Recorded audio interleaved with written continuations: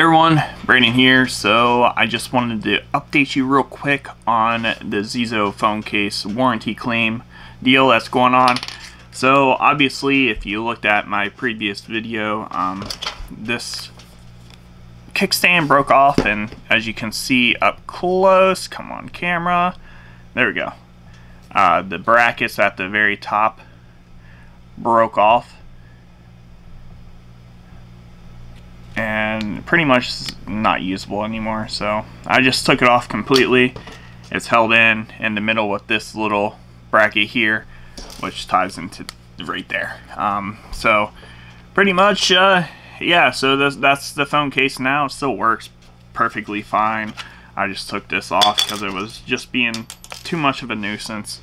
And yeah that's pretty much where we're at um, I did receive a response from Zizo. They emailed me. They told me to send pictures and send them a copy of the receipt. Uh, they told me that they couldn't open the pictures um, that I sent through their warranty claim link, which I'll put in the description below. I sent them the pictures.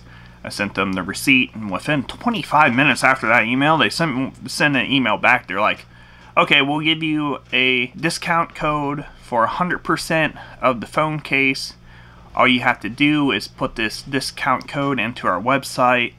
But the only catch is you have to pay shipping and handling, which domestic is $12.99, I believe, and if it's international, it's $16.99. If they told me $16.99 was going to be it, I would I would just get a new phone case. Like I would buy one outright, uh, probably a different one. But for $12.99, you know, I can I can deal with that. Getting a new phone case, sure. Uh, I can just keep this one, use it as a backup, and that's probably what I will do.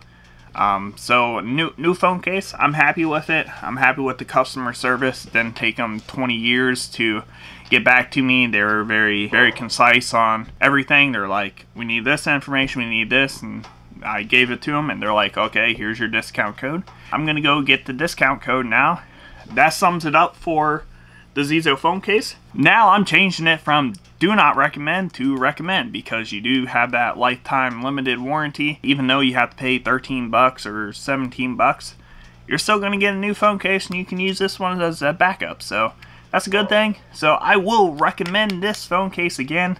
Uh, hopefully version 2.0 won't break and uh, we'll we'll see how it works. Anyways, guys, take it easy.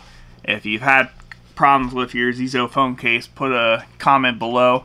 If you like this video, please like, subscribe, comment, and I'll see you in the next one. Take it easy and take care of yourself. Bye-bye.